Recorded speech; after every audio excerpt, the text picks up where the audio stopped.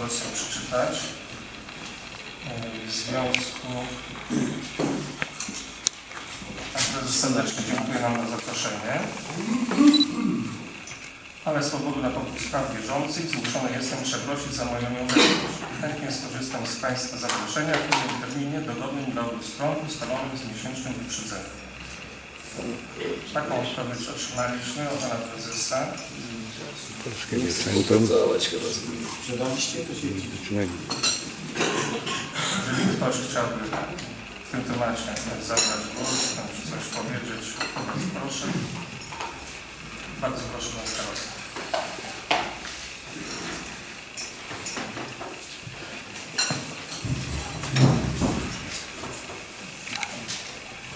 Panie Przewodniczący, Szanowna Rado, Panie Burmistrzu, Szanowni Państwo, jeżeli pozwolicie, to chciałbym chwilę e, przybliżyć Państwu, e, w jakich okolicznościach doszło do sprzedaży udziałów i jeżeli Państwo e, zechcecie wysłuchać, chciałbym też przytoczyć kilka e, bardzo ważnych e, faktów, z, e, jakie, jakie zostały podjęte uzgodnienia po podpisaniu umowy. E, 2 grudnia zeszłego roku 2000, 2009 zarząd, zarząd powiatu e, podjął uchwałę w sprawie wyboru trybu zbycia udziałów e, powiatu średzkiego w Średzkim Centrum Medycznym Spółka ZO i postanowił tego dokonać, e, tego zbycia w trybie negocjacji na podstawie publicznego zaproszenia.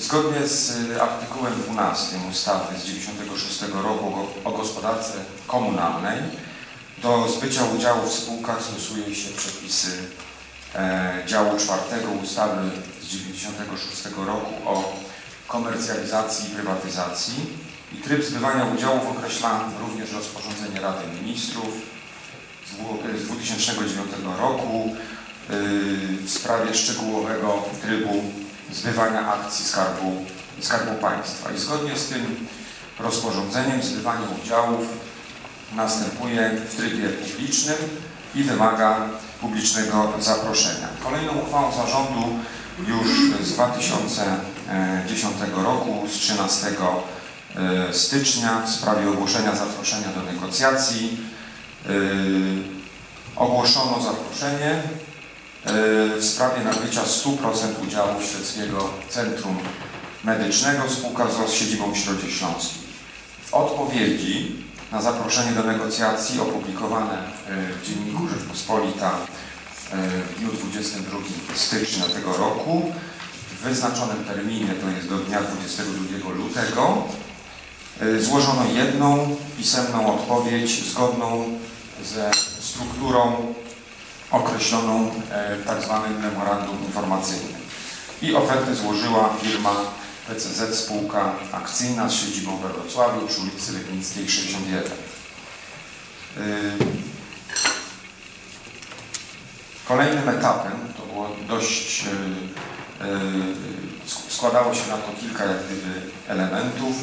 Zarząd powiatu przyjął uchwałę 1 lutego, w której, w której to e, określił i ustalił warunki sprzedaży udziału Śledzkiego Centrum Medycznego należących do powiatu śledzkiego oraz e, powołał, to było jeszcze wcześniej, zespół do spraw negocjacji, e, sześcioosobowy zespół, w skład którego wchodził przedstawiciel Rady Nadzorczej spółki, dwóch przedstawicieli e, załogi spółki, przedstawiciel zarządu spółki, Rady Powiatu i zarządu powiatu.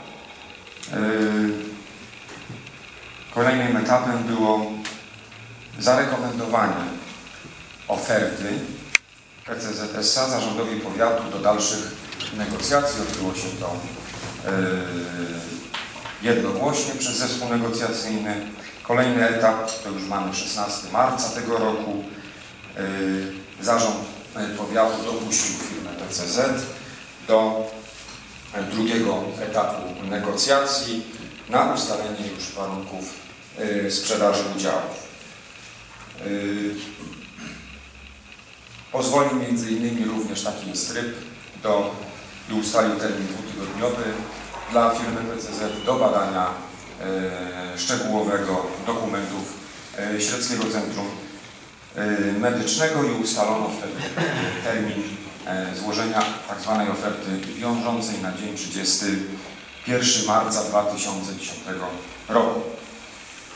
Y, Co do zespołu negocjacji, do spraw negocjacji, oni e, odbyli 6, 5 posiedzeń od 22 lutego do 9 e, kwietnia, w tym jedno odbyło się e, z udziałem oferenta E, i 9 kwietnia 2010 roku zespół udzielił rekomendacji firmie PCZ we Wrocławiu do dalszych negocjacji, to już mówiłem wcześniej.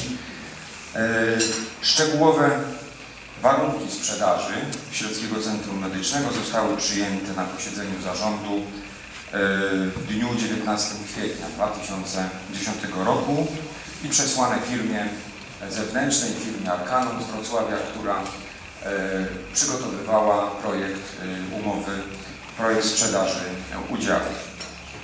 E, Te projekty były przesyłane do nas, e, później do firmy PCZ.